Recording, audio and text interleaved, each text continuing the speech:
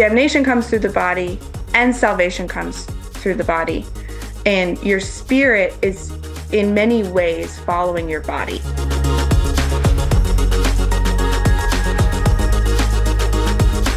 Welcome to Acton Line, a product of the Acton Institute for the Study of Religion and Liberty. I'm Eric Kohn, executive producer. One Mardi Gras night in 1520s Paris, college students Jean Calvin, founder of Calvinism and autocratic ruler of Geneva, Ignatius of Loyola, founder of the Counter Reformation Catholic religious order, the Jesuits, and their bawdy friend, Francois Rabelais, the humanist novelist, find themselves mixed up in a gruesome murder, and any one of them might be guilty.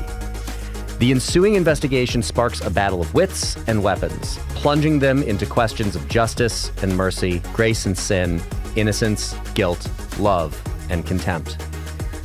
Before the bells ring in the start of Lent, they must confront the darkest parts of their souls and find the courage to pursue truth in a world that seems intent on obscuring it.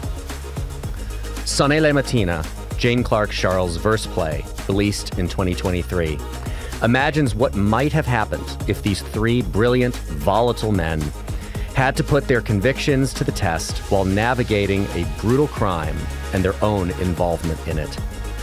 In this episode, Noah Gould, Acton's alumni and student programs manager, talks with Scharl about her play and the themes that it explores, including questions of justice, grace, sin, and the importance of the body. You can find additional resources in the show notes for this episode as well as find previous episodes of Acton Line on our website at acton.org slash actonline.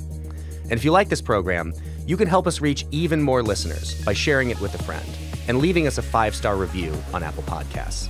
We welcome your comments as well.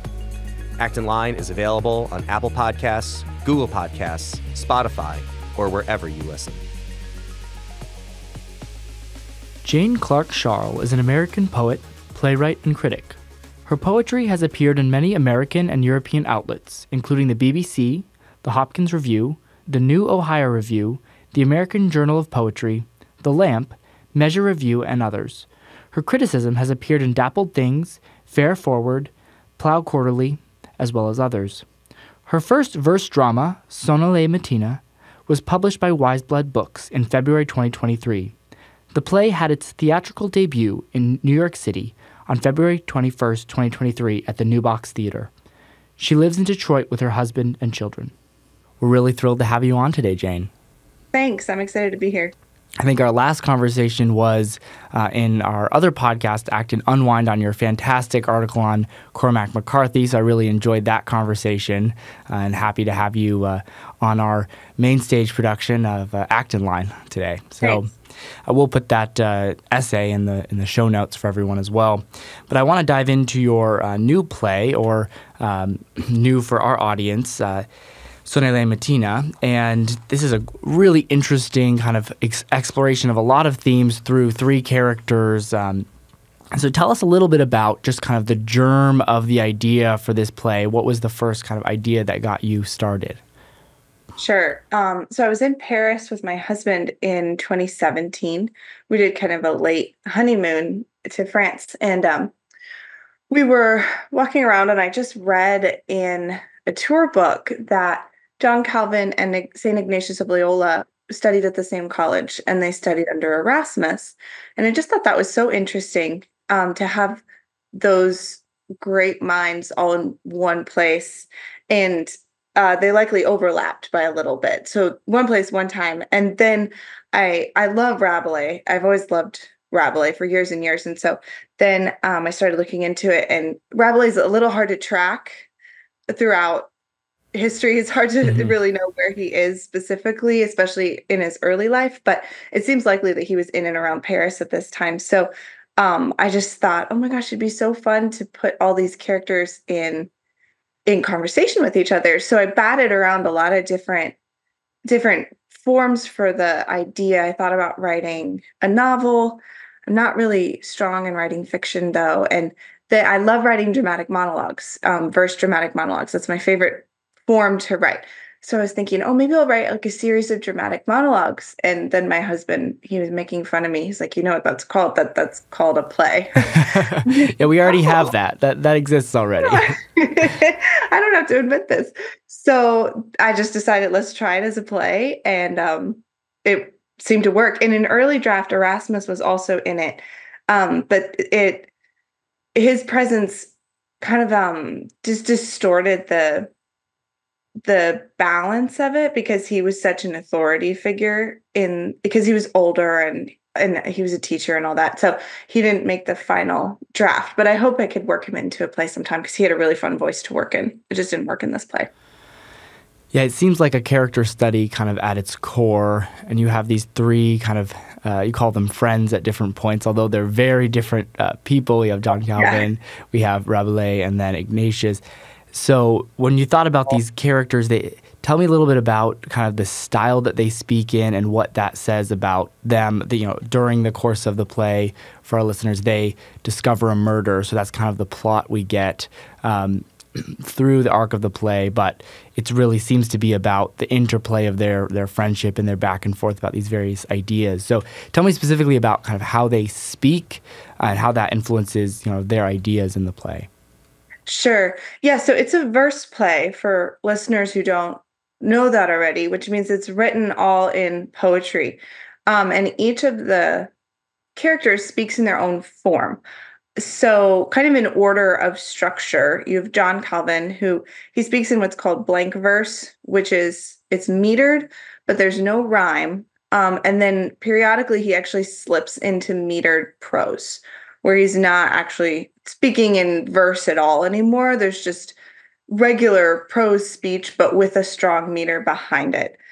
Then Ignatius of Loyola, um, he speaks in what's called alliterative verse, and it's actually a it's actually a um, very distinctively English form of verse. And obviously, the character is Spanish and living in France. So I kind of went back and forth on, okay, can I get away with this? But I just went for it because I write in English, so that's what I did. Um, but it's a it's a form that's it's associated with um, with war, and it's a it's called a martial form. It's kind of what you see in Beowulf. Um, now I'm not using the the whole Anglo-Saxon form, which is a lot more complex than what I'm doing. But um, I do have the strong alliteration throughout Ignatius's work, and he is speaking in what's called um, tetrameter. So it has four pulses, four beats per line. Calvin has five beats per line, and then Rabelais, the third character, who's the one that people are generally least familiar with. Most people kind of go, "Oh, John Calvin, Ignatius of Loyola," and then who's this other guy? So Francois Rabelais, um, he speaks in metered and rhymed couplets. So his is the tightest form. It's five beats per line, and then each each line rhymes with the one after it, and it's it's very bouncy and it leads to a lot of comedy because of the rhymes that he chooses. They're often kind of they're either body or just kind of silly and yeah so he's got he's got the most rigorous form that he's speaking in. Yeah, he's a lot of fun. He, he you really got at this kind of Falstaffian character that's a lot of fun, and he has a great arc, I think, throughout the play as well. Um, one of the themes that we get at through, especially the interplay between um, Rabelais and Calvin, is this the idea of the body and what is the importance of the body, as in uh, B O D Y. You also have uh, commentary on B A W D Y. So we have both types uh, in this play. But I want to read a bit, um, kind of contrasting ideas uh, from the play quickly. So towards the beginning, um, Calvin has this uh, kind of commentary on grace and the body. He says, Grace, yes, but grace to change, grace to turn this ruin of a man, a bodied thing, to good St. Paul bids us wear our skins like garments, to be cast off at the end of the day. And when I fling mine off, I hope I'll find within not one thing I recognize. So he has kind of a um, skepticism towards the body um, or uh, a darker view of what that is, versus Rabelais has this very uh, joyful view of the body and what it is, and appreciation for what life is, even if it's not necessarily um, a fully Christian view of the body. He has some part of that. Um, so, can you talk a little bit about kind of the exploration of this idea in the play? Sure. Yeah. Well, I think um, I think it's kind of death to an artist to try to try to make something that's culturally relevant. Um, you should make your art because you think it's beautiful. Um, and if it happens to have some relevance, that's great. But I do think that, I mean, that said, there is a bit of a crisis about what we're supposed to do with our bodies mm-hmm. today. Um, and you see, even among Christians, you see this um, push to transcend our bodies, um, whether through AI or uploading our consciousness or uh, augmenting our, our physical bodies with with uh, complex surgeries or just these things that sort of leave us um, leave us questioning what what is the purpose of this thing that it mediates all of our experiences. We we know nothing mm-hmm. that doesn't come to us through the body, through our five senses. But also our body is going to die. It's going to decay and break down. And that's a really that that is the human experience in a nutshell. Um we live in a house that's going to burn down. We just have that. And I think um a lot of, oh, I don't know if that's always going to be the case. That that's an interesting question. Will will we ever reach the point where our bodies don't necessarily end, um, and where our bodies are made eternal, you know, on this plane and not waiting for the resurrection? But I think um, the crisis of the body it feels very urgent and contemporary, but it's been going on forever. I mean, we've always had this question of what are we supposed to do with this thing that we inhabit? So um, at the at the Reformation, which is when this play takes place, I think a lot of the a lot of the the underlying tensions do actually have to do with the body. Um, what role does our body play in worship? What role does our body play in sanctification? How about things like climbing the Spanish steps on your knees until your knees are shredded and bleeding? Well, the Protestants were saying, no, this isn't a good thing. And the Catholics were saying, we can atone for the world through our own physical suffering and the, those were really heated questions so i wanted to get into um the not not necessarily the theology because i'm not a theologian and i don't want to be making a theological argument mm-hmm. but i wanted to bring the different perspectives on the body into um into conversation with each other hopefully playful conversation and and just sort of let readers hopefully see a perspective that they hadn't seen before on the body. That's what i was trying to do. Yeah i think that's a really helpful um, distinction that you made between like making an argument versus kind of uh, an exploration of ideas or an unfolding of ideas. Sometimes people think of every art form needs to be like a formal logical argument for yeah. X opinion. That's how we think about art often. I, I think it couldn't be more wrong. I mean, a yeah. syllogism is going to be much more effective if you just want to make an argument or you know rhetoric. But I think you you're playing with different ideas in a way that I think we can see unfold and, and think about in a helpful way. Well, and there's an interesting thing there with arguments and art. If I can just jump in, Carl Dennis is a contemporary poet and critic, and he he has this contention that every poem is making an argument, um, but that the argument that it's making is not some kind of abstracted logical argument. Instead, it's making an argument about what is important in reality that we need to pay attention to. Um, it, so it's it's it's saying this is a thing that you need to look at. And that is an argument. Mm-hmm. it's making an argument about where our attention should go. And i like that idea um, because i think sometimes people think of art either as what you're saying this sort of ideological we've created an art piece that advances an agenda or sometimes they think of it on the flip side as this is a purely personal expression. And that's not true neither of those are true. Instead, art is um, it is making a claim.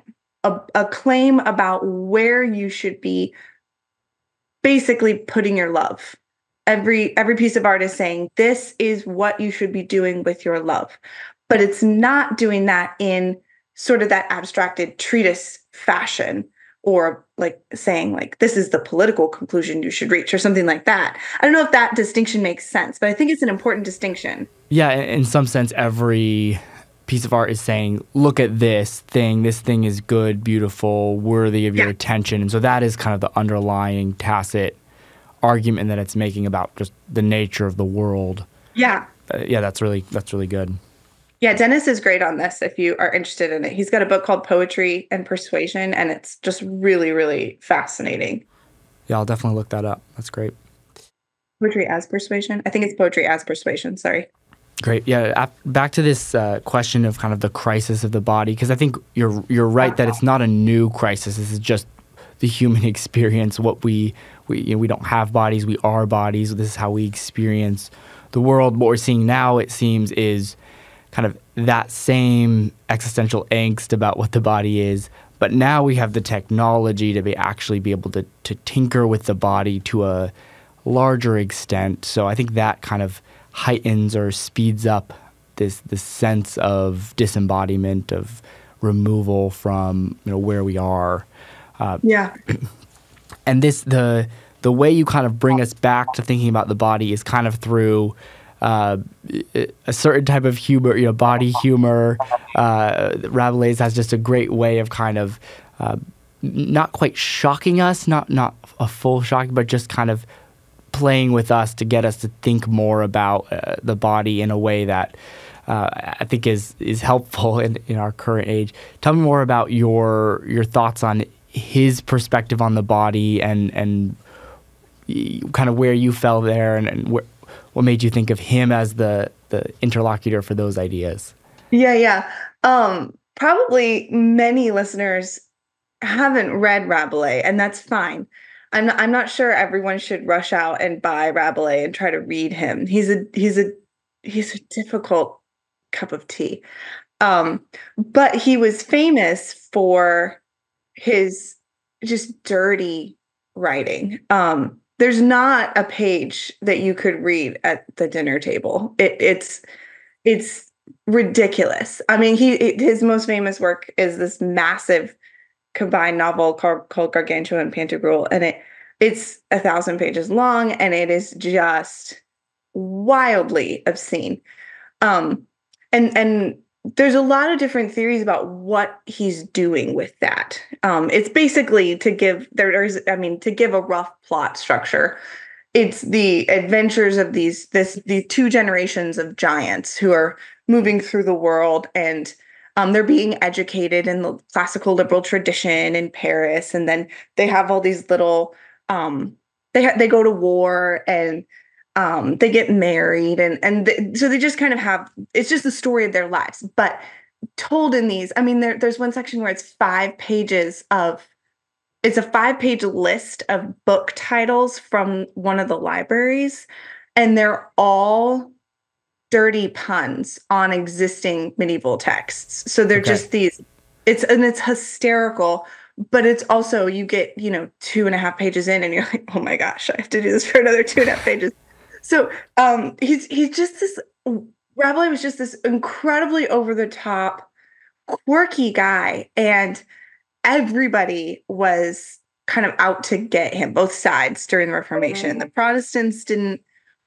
They they were mad at him because he wouldn't leave the Catholic Church. The Catholics were always banning his books and he kept losing patrons and then he'd have to run around and find a new patron or he would end up in big trouble that kind of thing so he's he um and like I said, there's all kinds of disagreements on what is his project, what is he doing. Um, and I think that makes him kind of the perfect character to adjudicate the discussion between Calvin and Ignatius, um, because Rabelais is so deeply implicated here. Hmm. He's he's not he he's guilt he's considered guilty by both sides. So he kind of gets to just stand there and say, "Okay, you guys already hate me. Um, so let's talk. You can't you can't insult me any more than you already have." Um, and obviously throughout the play, he's shown to be he probably deserves some of this. Like he's definitely not a pure character, but he's also not necessarily guilty of the things that everyone thinks he's guilty of, which is interesting. So he's just a really wild character. And I think if there, if we could, I don't know that there is a Rabelaisian voice right now, um, but maybe there is, and we just haven't, we haven't recognized it for what it is. But I think that a Rabelais who could really write about the body today and what it means to have a body today would be quite a quite an interesting. I know there's a couple of candidates out there, but I don't know if any of them have quite nailed it yet but it would be a lovely thing and i would be excited to see that person yeah you said earlier that this isn't a theological exploration but you touch on theological themes let's maybe say say it, it that way theological, um, yeah so i want to read another uh, quote and this is um, three friends are sitting down for for drinks and rabelais has this kind of uh, toast that he gives um, where he, he's i think he's kind of uh, i read as kind of mocking the other two, kind of serious. It's a line here. Um, but he says, Come, sit, drink, and then we'll dine. To what shall we drink? To women, wine, and song. We'll not go down easy in this throng. I think, and to the church is no more the simple joy it was. To merest orthodoxy, the perseverance of the saints, the hope that grace may one day deign to paint our souls like theirs? Or shall we simply toast that gratuity of God that most lurid, bloody, gross, exquisite body thing, the resurrection of the body. So tell us why is the resurrection of the body um, body in the sense that Rabelais is, is using it? I mean, I think once you really sit, it, it seems so when you when you first hear about it as a child, you and, and all the paintings and stuff, you get this idea of like, oh well, I'll just kind of float up to heaven and we'll be wearing white and it'll be great. But then when you really start to think about it, or um, you spend some time in a graveyard, I have these little kids and we they they are strange. We like to go to graveyards. Um, that's just something we like to do together. And my son, a couple of months ago, when we were hanging out in a graveyard, he he was standing next to a grave, and he looked at me and he said, "Mama, is there a body down there?" I was like, yeah, there's somebody buried there. And he said, so it's probably just bones by now, right? And I said, yeah, it's probably just bones because it was from like 1870 or something. Um, and he said, that's really sad. And then he started talking about the resurrection of the body. And he was wondering, well, when the body, when the resurrection of the body comes, is it going to be just the bones that come up or mm-hmm. all these things? And um, I think that that kind of childlike like oh what is the process mm-hmm. here mm-hmm. this is weird or i mean you think about our our bodies are generally pretty worn out when we die um they're we're kind of gaunt we're hunched over and are we going to roll back through those processes and these are the bodies that maybe we struggled with gluttony and we were overweight. Is that something where that's going to show up? And I know people say, like, oh, our resurrected bodies will be perfect, but what is that going to mean? Um, because these are the bodies that we worked for salvation. You know, we worked towards sanctity through these bodies. Um, I don't think I don't think they'll they'll just be automatically perfect. I don't like like I, I don't I don't know. I don't know what what mm-hmm. it's going to be. But it's a mystery and it doesn't um I, I don't find it imaginatively satisfying that our bodies are just going to be perfect. No freckles, no moles, no nothing. I mean, that that doesn't make sense with the way God works. God tends to carry faults through and make them holy instead of just eliminating them, if that makes sense. Yeah, um, or, or another way to say it would be we know we're going to be made perfect, but what is perfection in that yeah. in that setting? So you know what part of how we look now is going to there's going to be some sort of um, continuity to, to, be ourselves, to be the same person. Yeah. but what what parts? What does that look like? You know, we know that um, Jesus' resurrected body had the marks of the crucifixion, and that yeah. was um, a type of perfection, not the way we usually think about perfection. Exactly. Exactly. Yeah, we're not all going to look like airbrushed Instagram models. That's not very boring world. yeah. yes. Yeah, so I think it's it's worth spending some time thinking about the resurrection of the body that way and thinking about um what of my body shows my salvation um because that's probably going to make it to heaven you know like stretch marks on a woman who's born children like that's part of her salvation and i don't think god's going to just kind of get get rid of those that doesn't make sense mm-hmm. those distinctive no. qualities yeah. if you think about like an i think of an older married couple who kind of teases each other about their quirks they're not really teasing each other about their flaws. They, in some sense, aren't flaws anymore in yeah. some part of that process. I don't know how that works.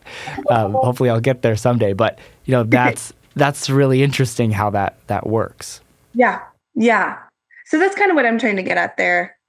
Well, maybe I don't really remember what my thought process was in writing that speech, but that's what I think about it now. Wonderful, yeah. I, I want to. Uh, I don't know if this is pushing back against one part or just uh, getting more of your thoughts on it, but uh, one theme throughout uh, thinking about John Calvin. Um, he seems to have a, a, large amount of uh, despair about kind of fate, or we could say predestination, is what he's he's thinking about. Some of the reformers thought of this idea of um, kind of uh, all all powerful God deciding everything for us as in- incredibly comforting, as you know, kind of this this assurance of salvation.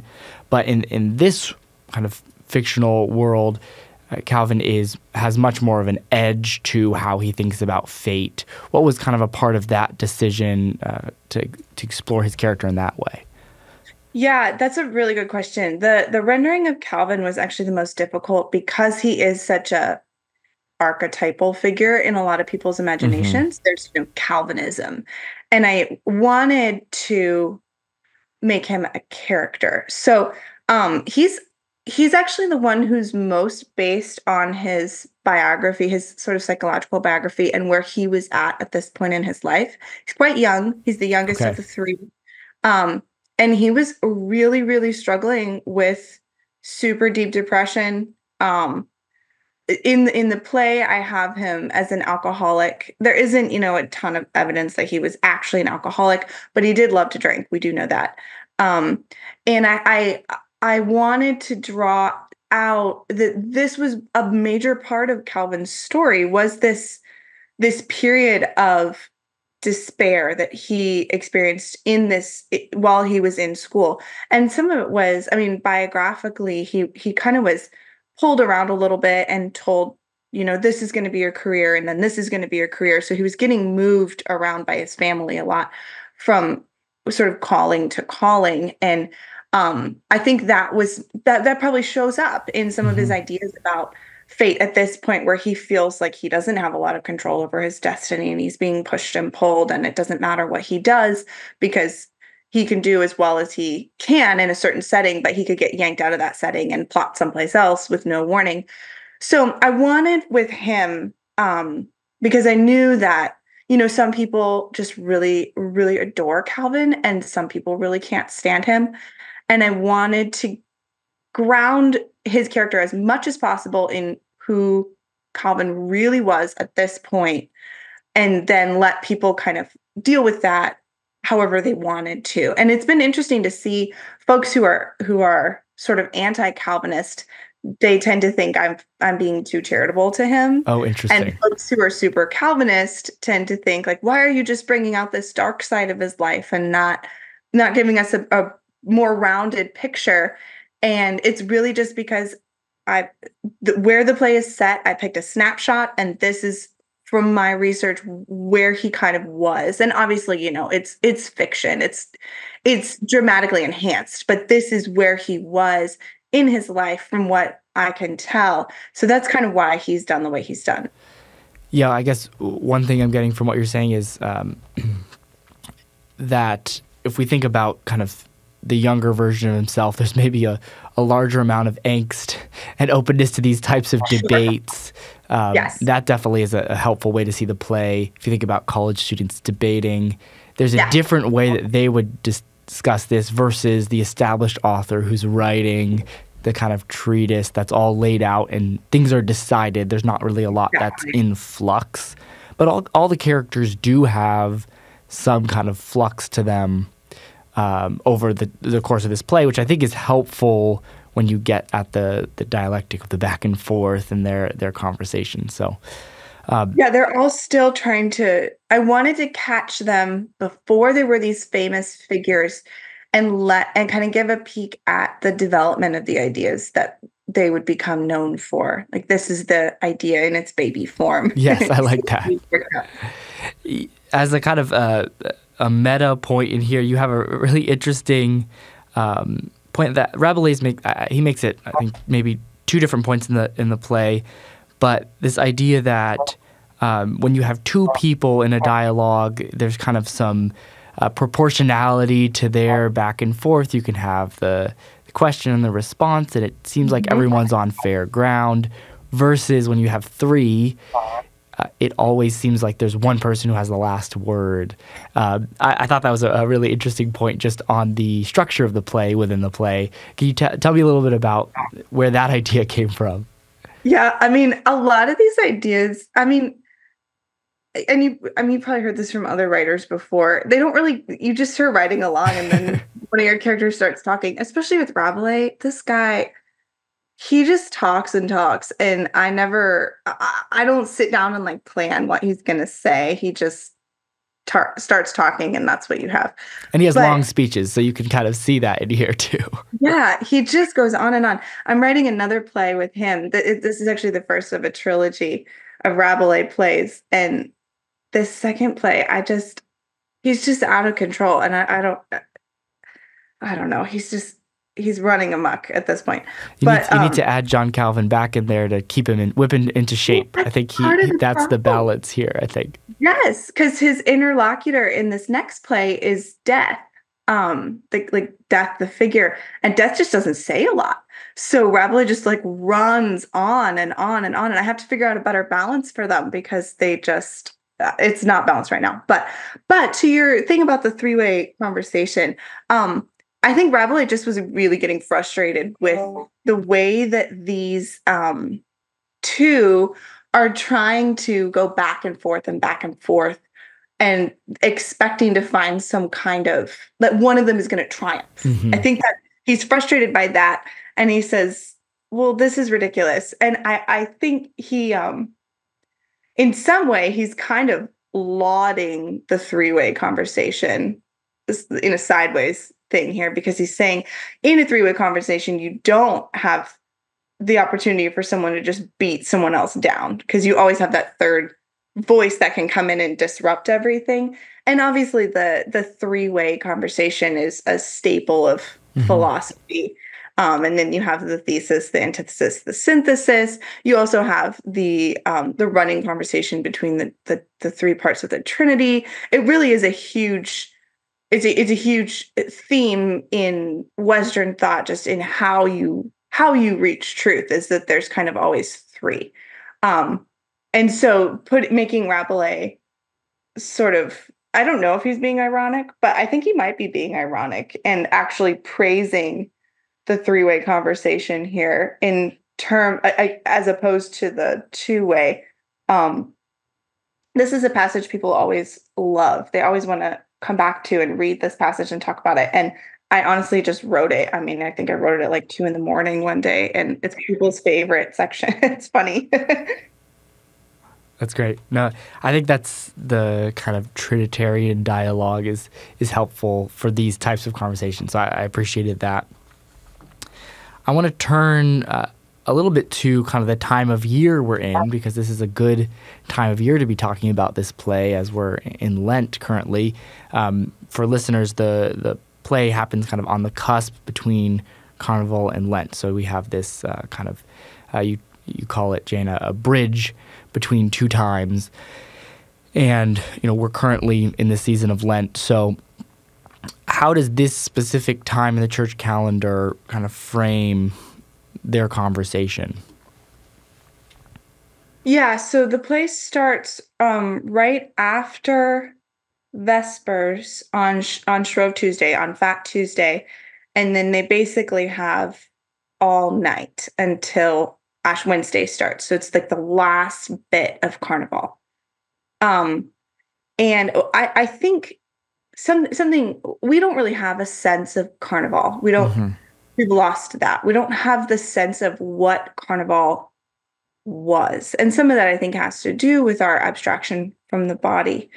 Um, but Carnival was a lot more than just, oh, we're going to go have a crazy party. Um, it was that for sure. But it was it was almost more of a um, we're going to acknowledge the physicality of our salvation and of our damnation. Um, so we're going to acknowledge that the the spiritual things that are that the church is telling us are happening are also happening through our bodies. Um, so you would, I mean, you'd have you'd have plays, and you, you, I mean, tons of plays. Drama, drama, and carnival go together really well. Um, traditionally, they people would always be putting on plays during carnival. Um, you'd have costumes, and you'd have these parades. You'd have people staying up all night and some of the traditions from carnival would they really shock us um, so for example there was a there was kind of a carnival joke where um, someone would they would they would take all the passages from the bible that have to do with defecation or sex string them together and stand in the in the public square and just read all the like like kind of obscene passages from the Bible in in a line. That's all that they would do, and people would just gather and laugh. They would think it was so funny. Or you'd have these like mock sermons where people would get together and do like a really grotesque, obscene parody of the Sermon on the Mount, and would like preach a sermon based on it in the public square as just completely a joke with like tons of Latin puns and all this stuff. And you see um this this kind of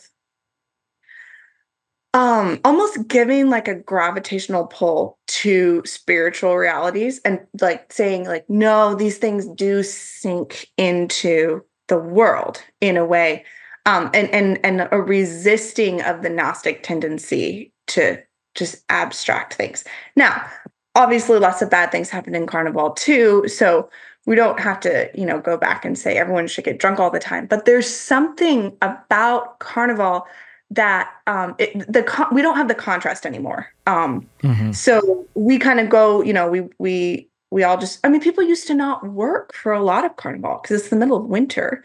So you could have you could have periods of several weeks where everyone was off work, just wandering around partying in the cities, and you transition from that to okay, it's Lent.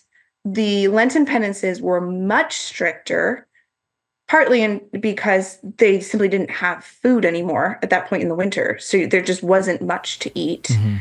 Um, and that that contrast, it's kind of like a cold a cold bath or a cold shower um, of sal- damnation comes through the body and salvation comes through the body. And your spirit is in many ways following your body. Obviously, your body follows your spirit. You learn spiritual strengths, it teaches your body, but you can't have a lazy body and a strong spirit, you know? Mm-hmm. Your your spirit imitates your body in a lot of ways. And we don't think that way anymore, but the medievals knew that. Um, so that's kind of what I'm trying to show here is that just give us a little taste of that that really marked contrast that Christendom had, and we just don't have anymore. Yeah, you use the term uh, that the cold plunge or the cold shower, hot and cold yeah. shower. That, of course, is the French uh, drama principles. That's yeah. great here in this yeah, context, but also, yeah. So the this the the moral contrast is something that it, it doesn't seem like we have. It's not like oh now people who are more secular have this kind of carnival atmosphere. It just seems like it's no one has it. It's just kind of yeah. lost uh, to everyone. Just um, work all the time. exactly. Yeah. There's there's yeah. work and there's um, some people who are trying to maintain a constant kind of pleasure high. You have that yes. that as a principle, which of course is extremely deadening uh, over time. And then uh, yeah, other people who are kind of have a, a more stoic uh, way of, of kind of viewing the world. So this is a helpful, I think, contrast to us as we think about Lent um, and how it has to do with the body. Um, yeah. So and this wasn't the only carnival period either. There's there's other carnival periods that we've completely lost. Like we have a little bit of this one, but there was a big carnival period in the summer around the summer solstice and the feast of St. John the Baptist. And then there was a significant carnival period um, in the in the fall uh, around Michaelmas, that sort of thing. Um, so yeah, it, it, was very much much more of a throughout the year you'd have this rising and falling instead of boom everything on Fat Tuesday. And, and mm-hmm. even the carnival season that we think of as Fat Tuesday, it stretched from Epiphany to Shrove Tuesday. So you had weeks and weeks of carnival instead of this all compressed into after work on Fat Tuesday. And it's just a very different way to live. Absolutely. Good. Well, is there any other um, kind of passage of the play that you want to leave us with, or other um, any other thoughts? It's a good question. Um, I I always I like I really like the last speech, um, which I it yeah I I just I'll read a little bit of it. Um, yeah, please do. So Rabelais left. He's left on stage by himself. The other two have exited with their own speeches, um, and he is left alone which he obviously has thoughts on being left alone, but we'll skip those for now. Um, he says, So what's my scene? A woman dead, a score of night watchmen dismayed, one friend outraged, another friend embroiled, and I, Rabelais, jesting as all sparks fly. Ignatius speaks of battle pitched, and Jean, he hopes I'm killed in it, but I jest on. For jesting's still a noble art, at least as noble as war or reading creased books in dusty halls of learning. Love wisdom, say I, but not with what's above. She's a pretty girl and ripe. Love her with your body, your skin and bones, the gurgle of your gut. Love her with your rutting heart. And I, I always I like those lines. Again, I when I read them, I think like, oh, I don't feel like I wrote those. I feel like someone else did. But I like those lines um, because I, I think intuitively we think of wisdom as abstracted, and that's not the way that's not the way it's written about in the Bible. That's not the way it's written about in Christendom. Um, wisdom and salvation are things that are they're they're imminent. They're um, incarnated, and I I would love to. I don't know. I'm still learning what that means, but I would love to see more and more people talking about that element of salvation. Wonderful. Good. Well, we will leave it there. Uh, but thank you so much for uh, joining me today. Yeah, this was so fun. Thanks a ton. And for our listeners, the play is Sonnez les Matines out from Wise Blood Books, and we'll put the link in the show notes. So thanks for joining us today. Fantastic.